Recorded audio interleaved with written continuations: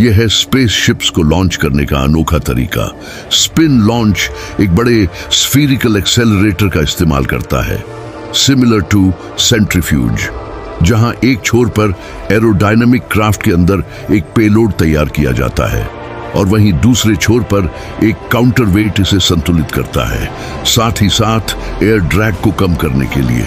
Chamber की हवा को बाहर निकाल दिया जाता है, जिससे वैक्यूम बन जाता है।